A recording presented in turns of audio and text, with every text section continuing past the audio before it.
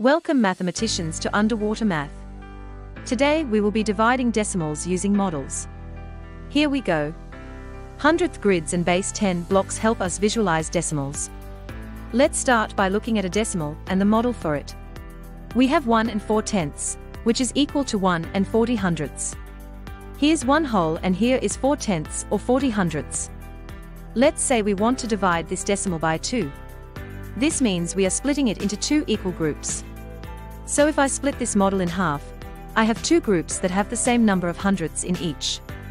We have 50 hundredths here, and 20 hundredths here.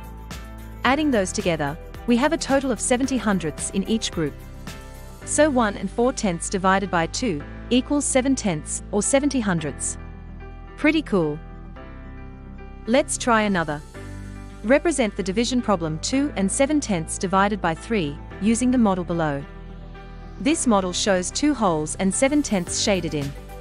This is a total of 27 tenths. Dividing 27 into 3 equal groups gets us 9 tenths in each group. So 2 and 7 tenths divided by 3 equals 9 tenths. Now that you have had practice, try one on your own.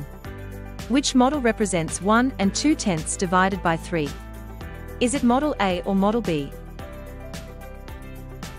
Let's look at the first one together. This one shows three groups of 1 and 2 tenths. This is a multiplication problem. We have a total of 3 and 6 tenths. This is not the correct model. Model B shows 1 whole and 2 tenths divided into 3 equal groups, with 4 tenths in each group. This model matches our division problem above. Fabulous work today.